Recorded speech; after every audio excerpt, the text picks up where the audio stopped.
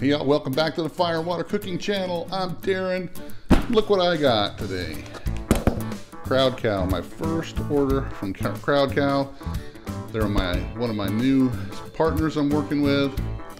If you haven't seen it on my uh, Facebook page and group, Crowd Cow. Check them out, link below. But we're gonna do an unboxing of my first order of Crowd Cow. I'll be right back.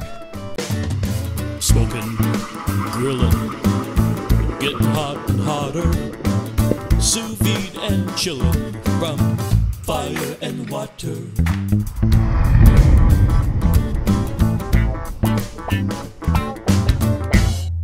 All right, guys, if you're not familiar with Crowd Cow, make sure you check out the link below. Check out their website. They're a new concept of uh, online meat providers that uh, works directly with smaller farms throughout the United States and outside the United States. I think they have one in Australia and they have one out in Japan where they get their um, Japanese Wagyu and olive Wagyu. So check out crowdcow.com check out the link below. Make sure you uh, check it all out. They, like I said, they have all kinds of different um, beef. They've got wagyu. They've got regular um, black Angus. All different kinds of breeds. But you can also pick what farm you can get it from. They've got farms all over the United States, on the West Coast, East Coast, in the middle of the country, that carry all different kinds of things, different cuts, different selections. They have American raised lamb, they have seafood, they have pork, chicken, pasture raised, 100% pasture raised chicken, heritage pork. Check them out. Well, I got my first order I placed with them the other day, so I'm going to go ahead and, without further ado, go ahead and open this up.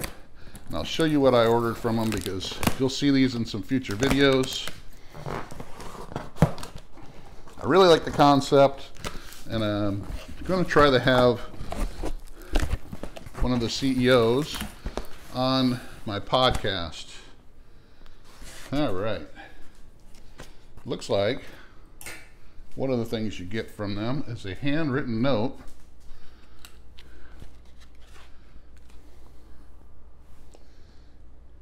well, it looks like a handwritten note. This says Darren, we're happy you joined us. You're one of the first people in Valrico to have ordered from Crowd Cow from these farms. And he's got the name of the farms. Please check out Crowd Cow recipes. Thank you, Joe, from Crowd Cow. Joe is the CEO, and I think he's going to be on the podcast here shortly. So that's kind of nice. A little personalized letter. This insulation that they have in the box it's not really styrofoam. It's biodegradable. You can actually uh, put it out in your uh, garden, they say, and it will uh, work like compost. It'll um, degrade really quick. You can dump it in water, they said, and it will also um, also uh, degrade really quick. And that kind of tells you here on this thing, no styrofoam was harmed in the shipping of this craft meat. So it's eco-friendly green cell foam packaging, biodegradable, water soluble. So they're really green with their packaging. So it goes with the whole concept of sustainability. And there's probably about two pounds or so of dry ice in here. I'm just going to go ahead and remove that. Put that in my sink. So it's got plenty of dry ice in there. It's still plenty cold in this box. Crowd cow. All right, still some, turn this box around, make it a little easier for me to pull this stuff out so you can see it. All right, I ordered some Autumn's Harvest pork sausage. We're gonna try that. That's heritage pork sausage. And I ordered some Wagyu um, chuck eye steaks. That's one, two, ordered three of those. It's frozen solid. Also ordered some dry aged Wagyu ground beef. That's going to be a great uh, video to do. Try to find my other, here's my other chuck eye steak. Three chuck eyes. Ordered some lamb chops. I got six um, American lamb chops from a farm up in upstate New York. Whew, like I said, that stuff is frozen solid. My other thing of pork sausage.